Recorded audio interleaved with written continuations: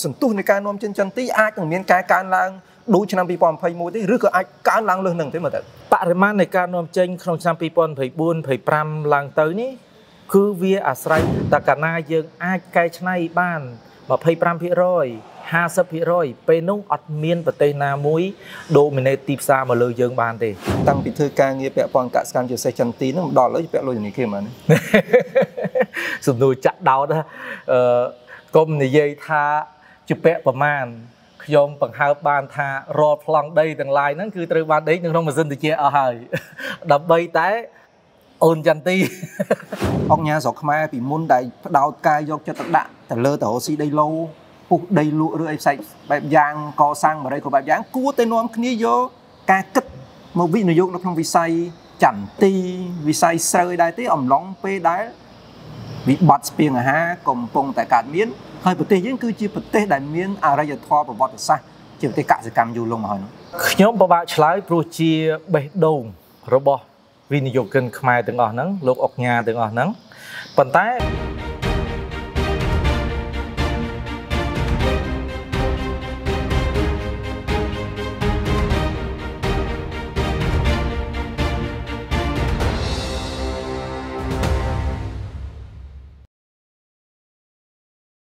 បាទសូមថ្វាយបង្គំទៅកាន់គុណចាស់គ្រប់ព្រះអង្គនៅទូទាំងប្រជាណាចក្រកម្ពុជាសូមគោរពនឹងជំរាបសួរទៅកាន់អាដាមលោកជំទាវលោកស្រីនាងកញ្ញាទាំងអស់ដែលតែងតែទស្សនាកម្មវិធីសេដ្ឋកិច្ចចំនួននិងរញ្ញធននេសាព័ត៌មាន17ដែលយើងហៅកាត់ថា Debit Stock ថ្ងៃនេះយើងពិសេសយើងជិះដីជាង100គីឡូចិត្ត200គីឡូបងពីភ្នំពេញមកមកជួប អ្នកជំនាញផ្នែកចន្ទទីនៅក្នុងទឹកដីខេត្តកំពង់ធំកំពង់ធំគឺជាចំណុចប្រសពនៃខេត្តដទៃផ្សេងទៀតដែលយើងបានចាត់ទុកជាទូទៅថាជាខេត្តមួយស្ថិតនៅក្នុងកណ្ដាលនៃប្រទេសកម្ពុជាបាទកំពង់ធំមែនតើជាប់កំពង់ចាមជាប់កំពង់ឆ្នាំងជាប់ព្រះវិហារជាប់ស្ទឹងត្រែងជាប់កញ្ចេះជាប់ស៊ីមរៀបជាប់ច្រើនមែនតើហើយកំពង់ធំជាប់មួយទៀតហ្នឹងគឺជាប់ ភ្ជាប់ជាមួយនឹងទន្លេសាបបឹងទន្លេសាបបឹងទន្លេសាបដែលយើងមានស្ទឹងច្រើនអ្នកជំនាញនៅថានេះគឺសមាអនុប្រធានសមាគមចន្ទទីកម្ពុជា គឺលោកសុយកុកធានបាទជំរាបសួរជំរាបសួរបាទលោកសុយកុកធានធ្វើការងារពាក់ព័ន្ធនឹងចន្ទទីអស់រយៈពេលប្រមាណជាង15ឆ្នាំហើយ15ឆ្នាំដែលឆ្លងកាត់នៅក្នុងវិស័យនេះ ធ្លាប់ជួបរឿងរ៉ាវច្រើនមែនតែនហើយលោកអ្នកនាងក៏អាចប្រហែលជាស្គាល់គាត់ហើយពីព្រោះជាទូទៅគាត់តែងតែនិយាយនៅក្នុងវិស័យសារព័ត៌មាននិយាយរឿងវិនិយោគពាក់ព័ន្ធចន្ទទីនិយាយរឿងវិនិយោគពាក់ព័ន្ធនឹងដំណាំកសិកម្មផ្សេងផ្សេងរួមទាំងការរុញឲ្យមានសន្ទុះទីផ្សារចន្ទទីទៅក្នុងតំបន់ ទាំងតំបន់អាស៊ានទីផ្សារក្នុងស្រុកនិងទៅកាន់ពិភពលោកទាំងមូលលោកគង់ធានមួយរយៈពេលចុងក្រោយសន្ទុះចន្ទទីបើប្រៀបធៀបទៅនឹងឆ្នាំ2022 21នៅក្នុងឆ្នាំ2023ដើមឆ្នាំ2024នេះអាចមានចរន្តតម្លៃល្អប្រសើរជាងមុនដែរទេមែនទេបាទសូមជម្រាបសួរត្រង់អាដាមលោកលោកស្រីទាំងអស់ដែលជាជាពលរដ្ឋដែលរស់នៅក្នុងប្រទេសកម្ពុជានិងអន្តរជាតិផងដែរអឺ តកតងទៅនឹងសន្ទុះតម្លៃចន្ទទីក្នុងមួយរយៈពេលចុងក្រោយនេះប្រហែលឆ្នាំចុងក្រោយនេះអឺយើងឃើញថាតម្លៃចន្ទទីរបស់យើងអាចទទួលយកបានមិនរាប់បញ្ចូលទាំងឆ្នាំនេះទេយើងអត់ទាន់ដឹងថាឆ្នាំនេះយ៉ាងម៉េចទេបាទ ប៉ុន្តែតកតងទាំងប្រហែលឆ្នាំកន្លងមកគឺតម្លៃចន្ទទីយើងល្អបើយើងប្រៀបធៀបទៅនឹងតម្លៃចន្ទទីដែលលក់នៅលើពិភពលោកបាទបាទជាពិសេសចន្ទទីដែលនាំចូលពីខាងអាហ្វ្រិកខាងប្រទេសដទៃទៀតដែលផលិតចន្ទទីដូចជាយើងដែរបាទបាទបាទអឺមូលហេតុដែលធ្វើឲ្យចន្ទទីយើងមានតម្លៃជាងបណ្ដាប្រទេសដទៃហ្នឹងវាមានកត្តាជាច្រើន ទី1កត្តាដឹកជញ្ជូន យើងដឹងថាប្រទេសវៀតណាមជាប្រទេសមួយដែលកែច្នៃស្វ័យចន្ទីធំជាងគេលើលើពិភពលោកហើយនាំចេញក្របកែច្នៃហ្នឹងទៅកាន់ពិភពលោកច្រើនជាងគេអញ្ចឹងវៀតណាមចិត្តប្រទេសយើងអញ្ចឹងការដឹកជញ្ជូនតិចខ្លីរយៈពេលខ្លីទៅដល់ប្រទេសវៀតណាមដោយមិនចំណាយច្រើនទៅលើការដឹកជញ្ជូនបើប្រៀបធៀបទៅនឹងការដឹកជញ្ជូនពីទ្វីបអាហ្វ្រិកមកកាន់ប្រទេសវៀតណាមអញ្ចឹងអឺយ៉ាងណាក៏ធ្វើឲ្យប្រទេសកម្ពុជាយើងលក់បានថ្លៃជាងគេផងដែរទី2 បញ្ហាគុណភាពគ្រាប់ទំហំនៃគ្រាប់ដែលជាទំហំដែលជាកត្តាមួយมันមានពីរលើពិភពលោករបស់ស្វ័យចន្ទីកម្ពុជាយើងបាទនៅពេលដែលសន្ទុះចន្ទីមានការកើនឡើងដោយលោកលើកលើកឡើងថាវាវាល្អវាពិសេសជាងគេបើប្រៀបធៀបទៅកាន់ប្រទេសដទៃផ្សេងទៀតដែលជាប្រទេសដាំដុះនៅចន្ទទីក៏ប៉ុន្តែហេតុអីបាននៅក្នុងឆ្នាំ2022សន្ទុះនៃការកាប់ដើមចន្ទទីនៅទូទាំងប្រទេសឈានរហូតដល់ជិត100000ហិកតា អឺនៅពេលនៅឆ្នាំ2021គឺយើងជាប់លេខ1តែដោយឡែកនៅឆ្នាំ2022គឺយើងជួបគ្រោះអឺបញ្ហាអាកាសធាតុផង បញ្ហាសត្វល្អិតផងធ្វើឲ្យកសិករចន្ទទីហ្នឹងគឺជួបវិបត្តិធ្ងន់ធ្ងរបាទបាទអឺ បញ្ហានៃវិជាកសិករស្វ័យចន្ទទីយើង គឺមានដដែលដដែលទេតកតងទៅនឹងនៅពេលណាដែលផលិតផលមួយធ្លាក់ថ្លៃឬក៏ធ្លាក់បរិមាណនៃការដាំដុះ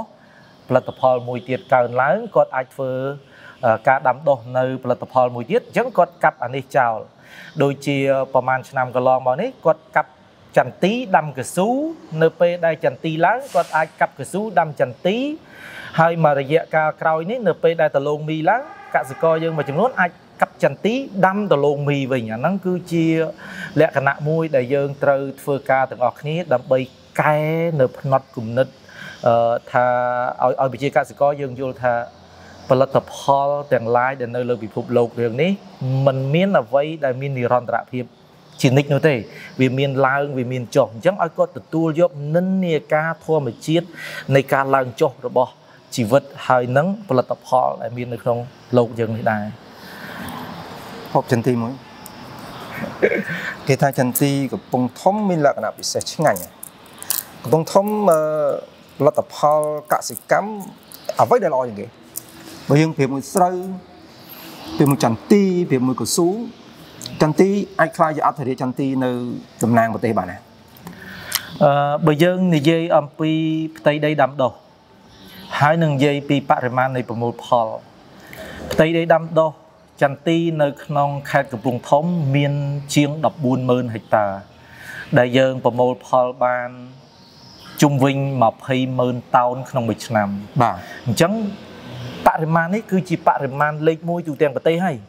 អឺបរិមាណទាំងផ្ទៃដីដាំដុះទាំងការប្រមូលផលហ្នឹងគឺយើងបានច្រើនជាងគេនៅទូទាំងប្រទេសអញ្ចឹង អឺខេត្តកំពង់ធំ គឺជាខេត្តលេខ1ក្នុងការអឺ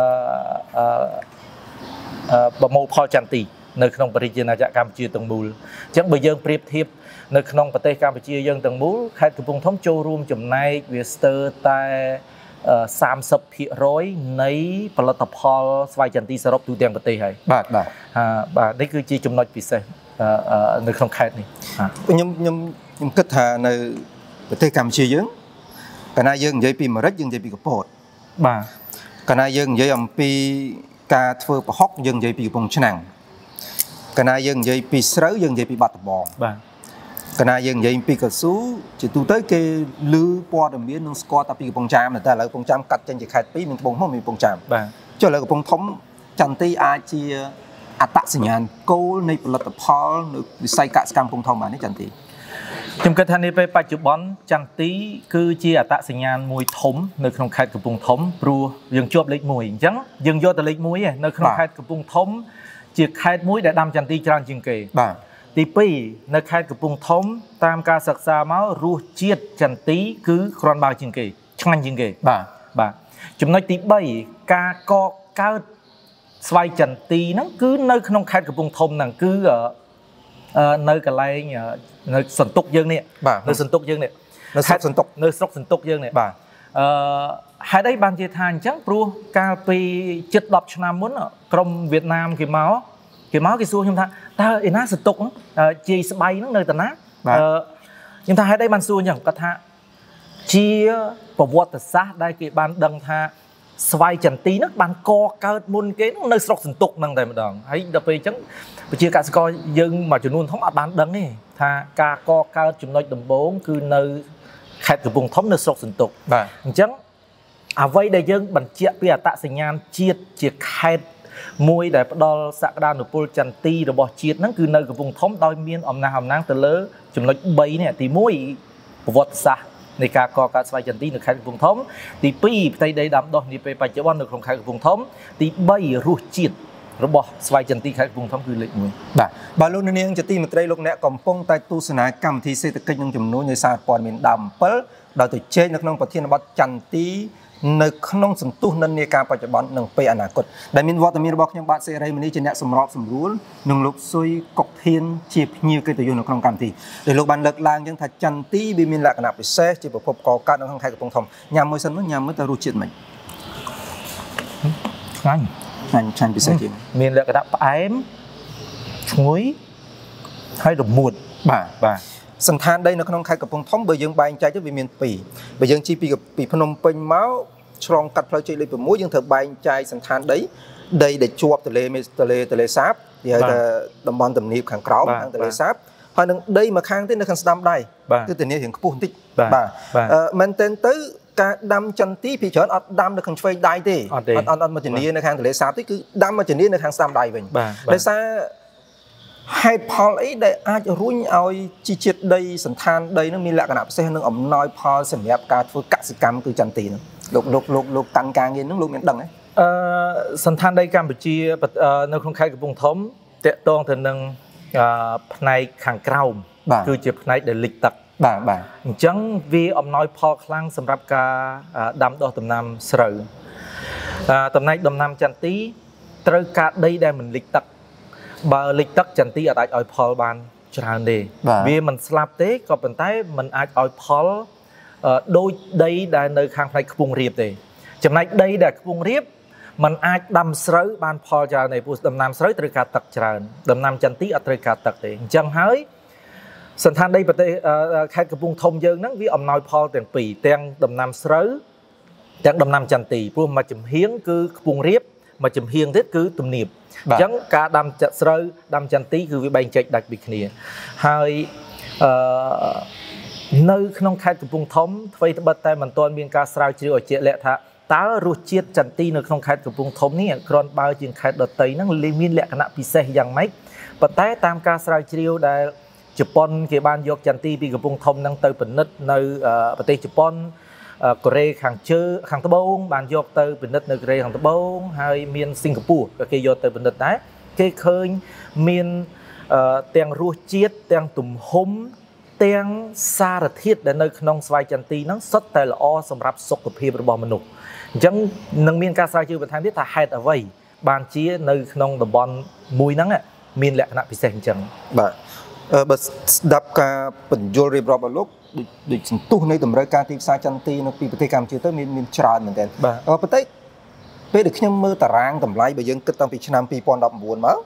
ឆ្នាំ2019យើងវាយចេញមួយតោនបានចន្លោះពី1800ទៅ2000បាទដល់ពេលយើងមើលមកដល់ឆ្នាំ2021នៅពេលដែលសន្ទុះនៃការនាំចេញមានកើនឡើងប៉ុន្តែតម្លៃធ្លាក់ចុះពី1300ទៅ1600ដល់ពេលពីឆ្នាំ2022 សន្ទុះតម្លៃហ្នឹងគឺកើនឡើងបន្តិចបើយើងគិតអំពី increasing sale គឺកើនឡើងបន្តិចមកដល់ឆ្នាំ2023តម្លៃហ្នឹងគឺបើប្រៀបធៀបទៅនឹងឆ្នាំ2019គឺចុះបាទដោយសារតែ2023នេះគឺយើងលក់ក្នុងមួយតោនចន្លោះពី1368ដុល្លារទៅ1900ដុល្លារទេបាទហេតុហេតុអីបានជាតម្លៃវាមានការឡើងចុះដូចទឹកជោទឹកនៀកចឹងអាការឡើងចុះហ្នឹងវាអាចរុញឲ្យកសិករដែលចង់រកស៊ីខាងចន្ទទីហ្នឹង ដេកភ័យដេកព្រួយដោយសារខុសលុយសងធនាគារដែរ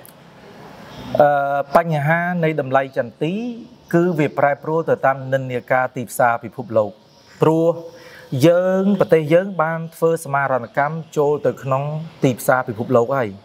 អញ្ចឹងទំនិញចន្ទីក៏ដោយអង្គក៏ដោយកស៊ូក៏ដោយ គឺវាត្រូវតាក់ទិនទៅនឹងចរន្តនៃការប្រែប្រួលនៃទីផ្សារពិភពលោកទី1ទី2តាក់ទងទៅនឹងការផ្គត់ផ្គង់ ពីជុំវិញពិភពលោកព្រោះស្វ័យចន្ទីមិនមែនផ្គត់ផ្គង់តែយើងទេដូចយើងបានដឹងស្រាប់ហើយថាអាហ្វ្រិកគឺជាប្រទេសជាប់ចំណាត់ថ្នាក់លេខ1ក្នុងការផ្គត់ផ្គង់ក្របក្របឆៅយើងអាចជាប់លេខ2អញ្ចឹងបើគេផលិតបានច្រើនយើងសិក្សាទៅលើតម្រូវការហើយនឹងការផ្គត់ផ្គង់ហើយនៅពេលដែលការផ្គត់ផ្គង់ច្រើនមានតម្រូវការតិចអញ្ចឹងតម្លៃហ្នឹងវាត្រូវទៀបតាមហ្នឹងហើយចំណុចមួយទៀតវាតកតងទៅនឹងនិន្នាការនយោបាយពិភពលោកក៏កន្លងមកយើងឃើញមានកូវីដ អញ្ចឹងនៅក្នុងកំឡុងកូវីដហ្នឹងការប្រើប្រាស់ក៏ធ្លាក់ចុះការដឹកជញ្ជូននៅជុំវិញពិភពលោកហ្នឹងក៏មានបញ្ហាច្រើន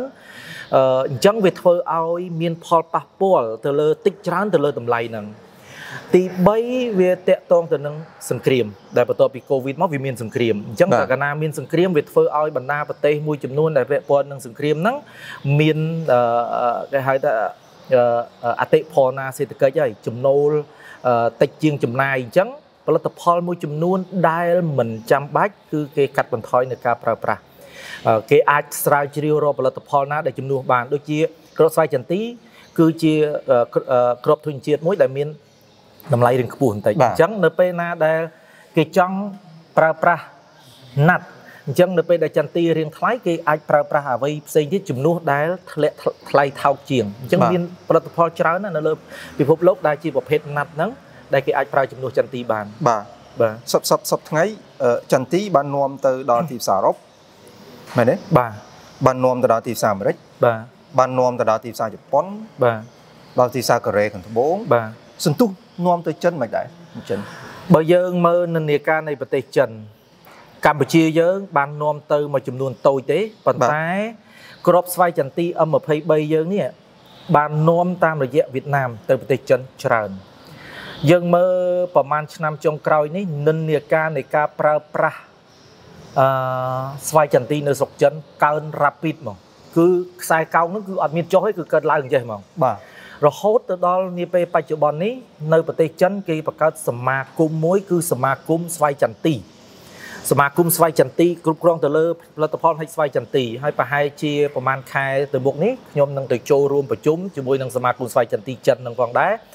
ដើម្បីធ្វើយ៉ាងណាផ្សព្វផ្សាយនិងជំរុញនៅអ្វីដែលជាសក្តានុពលចន្ទីរបស់យើងចូលទៅចិន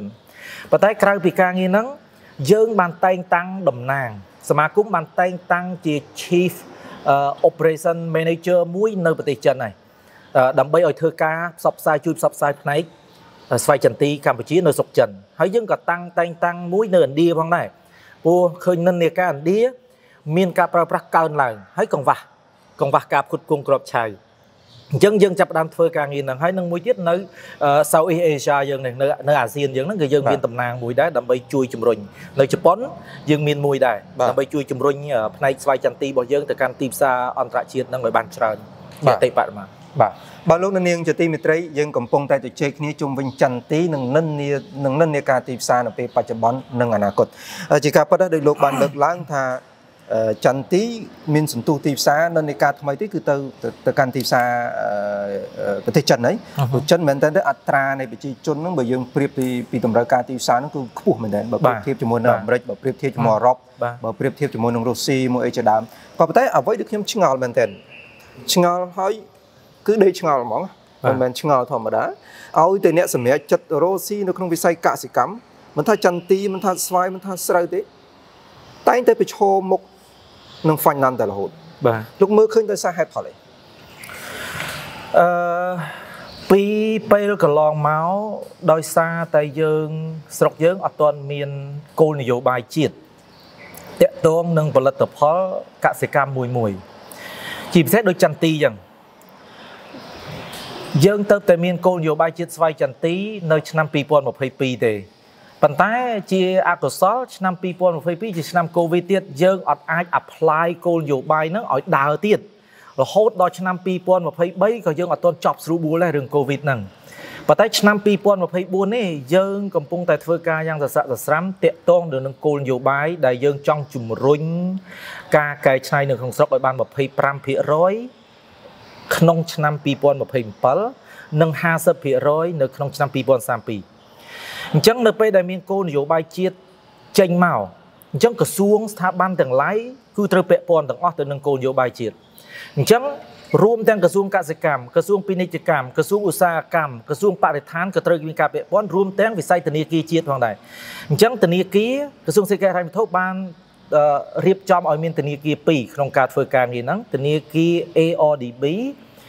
ជាធនាគារអភិវឌ្ឍជនបទនិងកសិកម្មហ្នឹងគាត់ត្រូវជួយជំរុញយ៉ាងម៉េចឲ្យមានការដាំដុះការថែទាំហ្នឹងឲ្យបានកើនឡើងធនាគារ SME អឺត្រូវធ្វើយ៉ាងណាឲ្យមានសហជំរុញឲ្យមានសហគ្រាសធុនតូចនិងមធ្យមឲ្យកាន់តែច្រើនដើម្បីជួយស្រោចស្រង់វិស័យនៃការកែច្នៃអញ្ចឹងលុយនៅនឹងធនាគារទាំងប្រមាណហ្នឹងអាចជួយ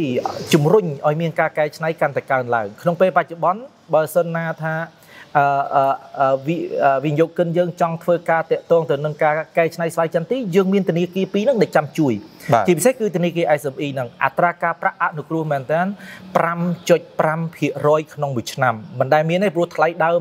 នៃកម្ចីក្រៅប្រទេសហ្នឹងក៏ច្រើនជាងហ្នឹងដែរក្នុងពេលបច្ចុប្បន្នប៉ុន្តែរដ្ឋាភិបាលបានផ្ដល់ការអនុគ្រោះដល់ចំណុចហ្នឹងហើយអញ្ចឹងការរស់ស៊ីហ្នឹងគឺល្អ អញ្ចឹងដោយឡែកនៅស្រុកគេដែលគេជំរុញបានអញ្ចឹងគឺគេមានធនាគារហ្នឹងចាំអនុគ្រោះមកចាំជួយគ្រប់បែបយ៉ាងទាំងអស់ដើម្បីជំរុញវិស័យហ្នឹងអញ្ចឹងកម្ពុជាយើងបានដើរចូលទៅក្នុង pass ហ្នឹងហើយក្នុងផ្លូវហ្នឹងហើយអញ្ចឹងសម្រាប់វិនិយោគិនមិនគួរព្រួយបារម្ភទៀតទេហើយចំណុចទីផ្សារកម្ពុជាយើងមានកិច្ចព្រមព្រៀងសេរីកិច្ចព្រមព្រៀងពាណិជ្ជកម្មសេរីទ្វេភាគីជាមួយចិនយើងគាត់តែនិយាយចិនមួយហ្នឹងគឺ វាក្របដណ្ដប់ស្ទើរតែប្រហែល30%ទៅលើប្រជាជនសរុបលើពិភពលោក20%ហើយពូ1000លានអ្នកជាងអញ្ចឹងចន្ទទីយើងផលិតប៉ុណ្ណឹងมันគ្រប់គ្រាន់គ្រាន់នឹងតម្រូវការចិនទេហើយយើងមានកិច្ចព្រមព្រៀងអសិបកិច្ចព្រមព្រៀងទ្វេភាគីជាមួយបណ្ដាប្រទេសដទៃទៀតដែលអាចជួយជំរុញជំរុញការនាំចេញនឹងបានច្រើនហើយចំណុចមួយទៀតមានអង្គការអភិវឌ្ឍដៃគូអភិវឌ្ឍ មានទាំងជំនួយអភិវឌ្ឍរបស់ប្រទេសជឿនលឿនមួយចំនួនដូចជា USAID ដូចជា EU ដូចជា Cabinet របស់អូស្ត្រាលីហ្នឹងអង្គុយនៅទីហ្នឹងសម្រាប់ជួយជំរុញទីផ្សារទៅកាន់បណ្ដាប្រទេសរបស់គេហ្នឹងឲ្យតែយើងអាចផលិតក្របស្វ័យចន្ទីដែលមានសក្តានុពល ដែលមានស្តង់ដារគ្រប់គ្រាន់អាចទៅជែកជាមួយនឹងដៃគូអភិវឌ្ឍទាំងអស់ហ្នឹងក្នុងការបើកទីផ្សារនៅបណ្ដាប្រទេសជឿនលឿនហ្នឹង បានអញ្ចឹងនេះគឺយើងមានឧបករណ៍គ្រប់គ្រាន់ក្នុងការជំរុញការនាំចេញផលិតផលកសិកម្មស្វ័យចន្ទីរបស់ខ្មែរយើងទៅកាន់ទីផ្សារអន្តរជាតិបានហើយបាទអត់អត់មានអីដែលត្រូវព្រួយបារម្ភទៀតទេបាទហើយនៅក្នុងនោះក៏មានសមាគមយើងចាំជួយសម្របសម្រួលជានិច្ចតែម្ដងបាទអ្វីដែលវិនិយោគិនចង់បានបាទប៉ុន្តែបើយើងបើយើងមើលពីអាសន្ទុះនៃការនាំចេញ5ឆ្នាំមុនគឺនៅឆ្នាំ2019យើងនាំចេញបាន60ម៉ឺនតោនបាទបាទ ហើយយើងមកប្រៀបធៀបនៅក្នុងឆ្នាំ2021 20ឆ្នាំ2020យើងបាន95ម៉ឺនតោនបាទ2021គឺយើងនាំចិនបានជាង1លានតោនដល់ពេលមកដល់ឆ្នាំ2023បើយើងគិតអំពីអារ៉ាត់ឈូនៃការនាំចេញហ្នឹងគឺលើសអា2019ហ្នឹងគឺតែ18ព្រោះវាវាកើនឡើងវាឡើងទៅដល់អឺ61ម៉ឺនតោន61ម៉ឺន8000តោនអញ្ចឹងអញ្ចឹងអាវ៉ាលុំហ្នឹងគឺនាំចេញរៀងរៀងស្ទើរហាក់លោកលោកយល់ថាតើនៅក្នុងឆ្នាំ2024 ឆ្នាំ2025ឆ្នាំ2026សន្ទុះនៃការនាំចិនចិនទីអាចនឹងមានការកើនឡើងដូចឆ្នាំ2021ទេឬក៏អាចកើនឡើងលើសនឹងទេមើលទៅអឺបរិមាណនៃការនាំចេញក្នុងឆ្នាំ2024 25ឡើងទៅនេះគឺវាអាស្រ័យទៅលើអាកាសធាតុ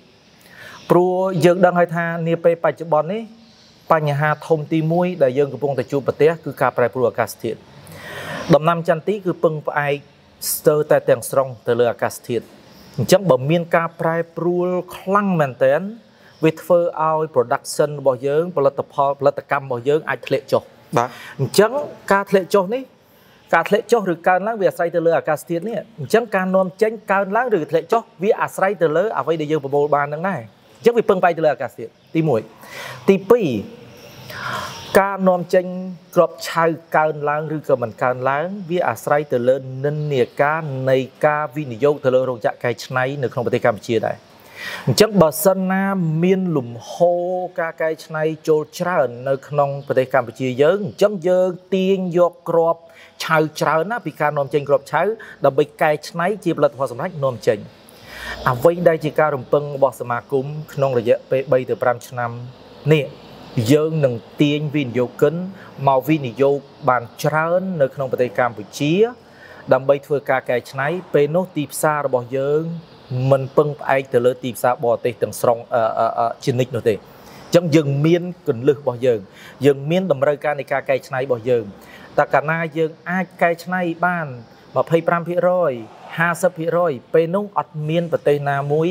dominate ទីផ្សារមកលើយើងបានទេ មានន័យថាយើង គឺជាអ្នកដាំដុះយើង គឺជាម្ចាស់ការការរំពឹងទឹកនឹងអាចទៅរួចទេខ្ញុំជឿជាក់អាចទៅរួចបើយើងមើលទៅលើតិន័យតិន័យរបស់យើងគ្រាន់តែយើងនាំគ្រាប់ឆៅចេញណា95%កែច្នៃរួចតែ5%ហ្នឹងតើតើពេលណាដែលអាចសន្ទុះនៃការនាំនៃការផលិតគ្រាប់វិចខ្ចប់គ្រប់បែបយ៉ាងបានទៅកាន់ទីផ្សារហ្នឹងអាចកើនឡើងដល់25%ខ្ញុំខ្ញុំគិតថាក្នុងរយៈពេល5ឆ្នាំក្រោយនេះពី3ទៅ5ឆ្នាំនេះយើងនឹងយើងនឹងអាចជំរុញបានច្រើន ដោយសារអឺបើសិនណាទិន្នន័យដែលយើងបដោតស្រាវជ្រាវក្នុងរយៈពេលសប្តាហ៍នេះដែលយើងមើលឃើញទិន្នន័យនេះគឺយើងកែច្នៃក្របកែច្នៃនៅក្នុងស្រុកយើងរហូតបានដល់ជិត10%ហើយចំណុចមួយទៀតឥឡូវនេះរោងចក្រធំ ដែលកំពុងតែសង់សង់នៅក្នុងខេត្តកំពង់ធំ មាន3ហ៎បាទបាទមានរោងចក្រមួយខ្ញុំភ្លេចឈ្មោះទៅ នៅខាងស្រុកតាំងកោករោងចក្រ CSNC នៅក្នុងស្រុកកំពង់ស្វាយដែលអាច absorb យករហូតដល់15000តោនអាហ្នឹងមិនទាន់គិតទាំង CSNC ហ្នឹងធ្វើការជាមួយនឹងសហគមន៍និងកសិករនិងសហគ្រាសតូចតូចដើម្បីទិញយកផលិតផលពាក់កណ្ដាលសម្រាប់ផងអញ្ចឹងបើសិនណាថាយើងបង្កើនការកែច្នៃរបស់សហគមន៍រោងចក្រជាកែច្នៃតូចតូចនឹងមកទៀតវានឹងអាចកើនឡើងទៅទៀតបាទទី3 Merat Holding គឺចាប់ផ្ដើមពង្រីកនៅផលិតកម្មរបស់ខ្លួន ឲ្យបានរហូតដល់ដូចជាខ្ទង់ជំវិញ5000តោនទៅ10000តោនអញ្ចឹងយើងឃើញថានិន្នាការនៃការសាងសង់រោងចក្រនៅក្នុងខេត្តកំពង់ធំកើនឡើងអញ្ចឹងដល់ពេលដែលមានការកើនឡើងអញ្ចឹងអ្វីដែលជាការរំពឹងទុកអ្វីដែលជាគោលដៅក្នុងការទាញយកវិនិយោគិនមកកែច្នៃនៅក្នុងប្រទេសកម្ពុជាឃើញខ្លាយទៅជាការពិតបាទបដាបដាទៅហើយបាទអញ្ចឹងក្នុងរយៈពេល3ទៅ5ឆ្នាំ គឺសម្រាប់សមាគមស្វ័យចន្ទទីយើងមានសុទិដ្ឋិនិយមស្ទើរតែ100%ថាយើងនឹងអាចទាញមកបានច្រើនមែនទែនចិត្តតាមចន្ទចន្ទទីចន្ទទីនៅចន្ទទីនៅស្រុកយើងរងហើយចន្ទទីនៅខាងកំពង់ធំរងហើយយើងយើងបានទៅដល់រោងចក្រមុននឹង2 3រោងចក្រយើងបានទៅដល់ហើយមកដល់ពេលបច្ចុប្បន្ននេះនៅក្នុងកំពង់ធំបើយើងគិតឲ្យសពសពទៅចន្ទទីវាឈរវាឈរលំដាប់ហើយប៉ុន្តែលោកលោកងាកមើលទៅកាន់ប្រជាកសិករវិញអ្នកអ្នកធ្វើចន្ទទីណាជីវភាពរបស់គាត់អាចប្រសើរជាងមុនណាអឺ ការពិតទៅរោងចក្រដែលខ្ញុំបាននិយាយទៅបាញ់មិញនេះទៅចាប់ផ្ដើមសាងសង់ចាប់ផ្ដើមសាងសង់ក្នុងឆ្នាំហ្នឹងបាទបាទទាំងទាំង2ទាំង3ដែលធំធំហ្នឹងទៅតែសង់ខ្លះសង់រួចខ្លះសង់មិនទាន់រួចទេបាទអឺប៉ុន្តែវានឹងអាចរួចក្នុងពាក់កណ្ដាលឆ្នាំហ្នឹងអញ្ចឹងខ្ញុំឃើញនឹងឃើញមានផលប៉ះពាល់ផលជះផលអវិជ្ជមានវិជ្ជមានហ្នឹងនឹងអាចក្នុងឆ្នាំ2025ឬក៏ចុងឆ្នាំ2ឆ្នាំនេះនៅពេលដែលស្រងចាក់សង់រួចនឹងចាប់ផ្ដើមដំណើរការអាហ្នឹងវានឹងឃើញថា វាអាចស្រូបយកទៅរួចឬមិនទៅរួចវាមិនអាចថាមិនទៅរួចទេព្រោះរោគចាក់នីមួយៗយើងក៏លេខមើលថាដូចជាជនជាតិជប៉ុនបាទ Merat Holding គឺមកពីជប៉ុនហើយជនជាតិជប៉ុនមុននឹងគេបោះទុនចូលក្នុងការវិនិយោគគឺសិក្សាល្អិតល្អន់ណាស់ដូចខ្ញុំធ្លាប់សិក្សាជាមួយនឹង Top Planning មុនពេលដែល Merat Holding ចូលមកនេះ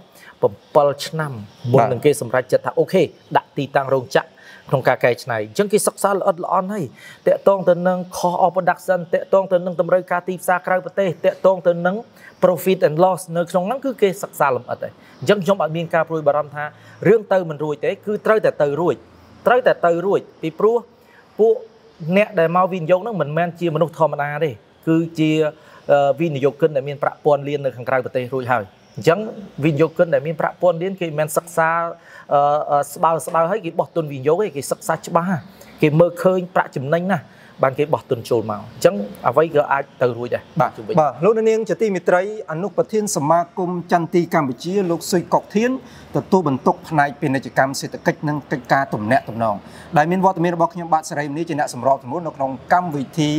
សេដ្ឋកិច្ចចំនួននិងរញ្ញភោនៃសារព័ត៌មានដើម7ដែលយើងទៅជែកនៅក្នុង ប្រធានបទចន្ទទីនិងនិន្នាការទីផ្សារបច្ចុប្បន្ននិងពេលអនាគតដោយលោកលើកឡើងអញ្ចឹងថា អ្វីអ្វីគ្រប់បែបយ៉ាងកំពុងតែស្ថិតនៅក្នុងដំណាក់កាលដំណើរការកំពុងតែសាងសង់ខ្ញុំមុនហ្នឹងទៅបានទៅដល់រោងចក្រដែរហើយថ្មីថ្មីនេះមានរោងចក្រមួយរបស់សង្របស់សិង្ហបុរីហ្នឹងដាក់ទុនវិនិយោគទំហំទៅប្រាក់210លានបាទបានសម្ពោធកាលពីចុងឆ្នាំ2023អញ្ចឹងសន្ទុះគ្រប់បែបយ៉ាងចាប់ដើមកើនឡើងវិញប៉ុន្តែខ្ញុំចង់ដឹងថាចន្ទទីមួយដើមនៅពេលដែលយើងដាំត្រូវចំណាយពេលប្រហែលឆ្នាំទៅអាចទទួលបានផលនៅក្នុងប្រទេសកម្ពុជាយើងយើងលែងដាំគ្រាប់ទៀតហើយយើងដាំចន្ទទីដែលបំបៅ អញ្ចឹងចន្ទទីដែលបំបៅហ្នឹងគេយកគ្រាប់ហ្នឹងទៅដាំហើយគេកាត់តគ្រាប់អាត្រួយចាស់បាទអញ្ចឹងក្នុងរយៈពេល2ឆ្នាំយើងមិននិយាយពីឆ្នាំទី1ទេពីឆ្នាំទី1ក៏មានផ្កាដែរប៉ុន្តែយើងកាត់ចោលចាប់ពីឆ្នាំទី2ទៅយើងចាប់ដើមទទួលផលបណ្ដើបណ្ដើហើយដល់ឆ្នាំទី3ទី4ទី5ទី6ហ្នឹងគឺចាប់ដើមពេញផលតែម្ដង បើយើងប្រៀបទៅកស៊ូកស៊ូ5ឆ្នាំពេញបាទកស៊ូ5ឆ្នាំពេញឬក៏6ឆ្នាំបានបានជឿជាប់បានប៉ុន្តែស្វ័យចន្ទទីតាមពីឆ្នាំទី2ទៅគឺយើងបានហែហែប៉ុន្តែវាមិនមែនថាឆ្នាំទី2ហ្នឹងយើងទទួលបានប្រាក់ចំណេញគ្រប់គ្រាន់ក្នុងការគ្របដណ្ដប់ទៅលើចំណាយទេអត់ទេចាប់ពីឆ្នាំទី3ទី4ទៅយើងអាចរួចអាចអាច4ឆ្នាំទី4នេះទៅយើងអាចថារួចដើមហ่ะអញ្ចឹងតាពីឆ្នាំទី5ទៅយើងចាប់ដើមចំណេញព្រោះយើងធ្វើឲ្យច្បាស់លាស់បាទស្រូវក៏ឡើងថ្លៃ ចន្ទទីក៏ហាក់មានសន្ទុះទីផ្សារឡើងវិញបាទហើយកស៊ូបើយើងគិតអំពើទៅមើលទំហំតម្លៃនៃការនាំចេញកស៊ូគឺនៅឈរលំដាប់លេខ2បន្ទាប់ពីចន្ទទីចន្ទទីឈរលំដាប់លេខ1បាទ470លានជាងច្រើនអញ្ចឹងប្រជាជនគួរតែផ្ដោតការយកចិត្តទុកដាក់ទៅលើស្រូវនិងចន្ទទីជាជាងកស៊ូឬក៏យ៉ាងម៉េចខ្ញុំជូនជាគំនិតអញ្ចេះនៅលើពិភពលោកតាមការសិក្សាស្រាវជ្រាវរបស់អង្គការស្បៀងអាហារពិភពលោក ក្នុងប្រមាណឆ្នាំទៅមុខទៀតនេះប្រជាជននៅលើពិភពលោកនឹងជួបវិបត្តិក្នុងការខ្វះស្បៀងដែលផ្អែកលើមូលដ្ឋានអី គឺគឺជាការសិក្សាស្រាវជ្រាវរបស់ខាងអង្គការសហប្រជាជាតិដោយសារតែបញ្ហាសង្គ្រាមនៅរុស្ស៊ីការប្រែប្រួលអាកាសធាតុពីជាពិសេសតែម្ដងគឺជាបញ្ហាដែលធ្ងន់ធ្ងរយើងមើលបណ្ដាប្រទេសមួយចំនួនដូចជាវៀតណាមអញ្ចឹងដីសណ្ដទន្លេមេគង្គដែលធ្លាប់តែដាំស្រូវបានហ្នឹងឥឡូវនេះទឹកសមុទ្រហ្នឹងវាចូលមកលាយជាមួយនឹងទឹកសាបបាទអញ្ចឹងការដាំដាំដុះស្រូវជួបបញ្ហាអញ្ចឹងគេត្រូវស្រាវជ្រាវពូជថ្មីធ្វើម៉េចដើម្បីឲ្យស៊ីទៅនឹងទឹក ប្រៃទឹកសាបជាមួយគ្នាប៉ុន្តែការសិក្សាស្រាវជ្រាវមួយមួយវាមិនមែនត្រូវការរយៈពេលមួយខែពីរខែមួយឆ្នាំពីរឆ្នាំណាត្រូវការរយៈពេលយូរអការប្រែប្រួលអាកាសធាតុកន្លែងខ្លះឡើងកម្ដៅខ្លាំងកន្លែងខ្លះជោះត្រជាក់ខ្លាំងអញ្ចឹង ការសម្របសម្រួលរវាងជីវិតរុក្ខជាតិទាំងឡាយដំណាំហូបផ្លែទាំងឡាយហ្នឹងវាមិនអាច adjust ទៅតាមអាការប្រែប្រួលអាកាសធាតុភ្លាមៗទេបាត់បែនភ្លាមៗបានទេអញ្ចឹងចង់មិនចង់ធ្វើឲ្យមានផលប៉ះពាល់ទៅលើ production របស់កសិកម្មហ្នឹងអញ្ចឹងចង់មិនចង់ពិភពលោកហ្នឹងវានឹងខ្វះទី1ទី2ទៀតក្មេងៗជំនាន់ក្រោយអត់ចូលចិត្តការដាំដុះទេ អត់ចូលចិត្តកសិកម្មប្រហែលទេគាត់ចូលចិត្តលាកពាក់ស្អាតហឺហាចូលធ្វើការក្នុងម៉ាស៊ីនត្រជាក់ធ្វើជាលក្ខណៈពាណិជ្ជកម្មអាហ្នឹងគឺជារបត់នៃប្រទេសពីប្រទេសជឿនលឿនប្រទេសកំពុងអភិវឌ្ឍអីទៅគឺរបត់ចំនួនក្រោយគឺអញ្ចឹងអញ្ចឹងការការបាត់បង់នៃការដាំដុះហ្នឹងចេះបន្តិចម្ដងបន្តិចម្ដងទៅអឺមួយទៀតយើងមើលនិន្នាការពិភពលោកវិញយើងមើល Bill Gates រស់ស៊ីក្នុង technology សុកសុកឥឡូវនេះ Bill Gates คล้ายទៅជាជនទី1នៅលើពិភពលោកដែលមានដីកសិកម្មច្រើនជាងគេព្រោះអីគេមើលឃើញនិន្នាការកសិកម្មហ្នឹងវាដើរទៅមុខហើយមិនមែនអ្វីផ្សេងទៀតទេអញ្ចឹងខ្ញុំលើកទឹកចិត្តថាការដាំដុះអ្វីក៏ដោយមិនតែស្វ័យចន្ទទីទេដែលតាក់ទងទៅនឹងអាហារហូបចុករបស់មនុស្សតម្រូវការហូបចុករបស់មនុស្សមិនខុសទេកុំឲ្យកាប់ឲ្យដាំដាំឲ្យកាប់ជាពិសេសចន្ទទីនេះ ចន្ទទីនេះគឺមានសារធាតុចិញ្ចឹមច្រើនណាយើងអាចធ្វើជាអាហារមួយចំនួន ដែលជាអាហារបង្គ្រប់អាហារគេហៅថាអាហារទ្រទ្រង់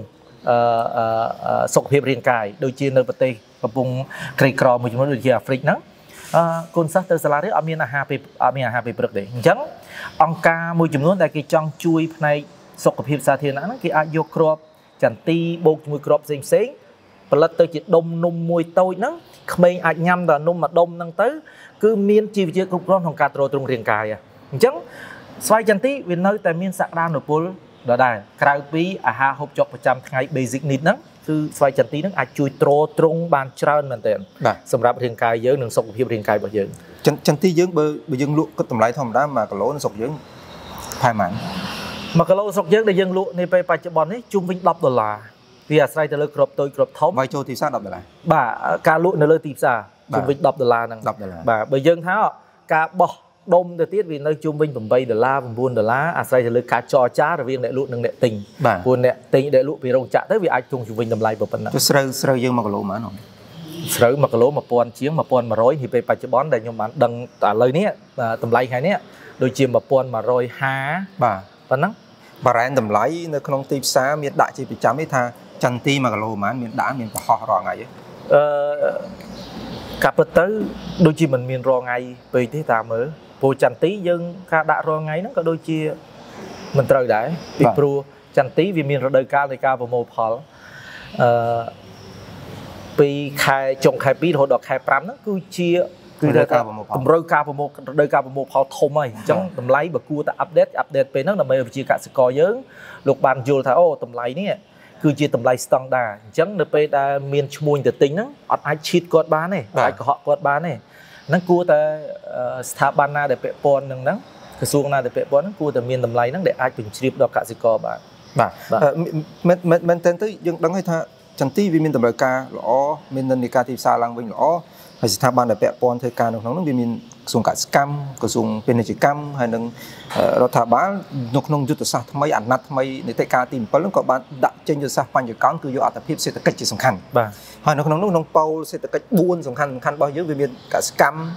វាមានសំណង់វិជ្ជាភ័ណ្ឌហើយនឹងទេសចរហ្នឹងកសិកម្មទេសចរហ្នឹងឯងគឺជា ជាជាជាចំណុចអត្ថភាពចុះហេតុអីបានជាមកដល់ពេលនឹងហើយមិនកំណត់តរ៉ែនបរ៉ែនតម្លៃឲ្យសាធារណជនបានដឹងជាពិសេសជាសាស្ករគាត់ឃើញហើយគាត់រៀងមានទឹកមាត់លេបណាខ្ញុំគិតថា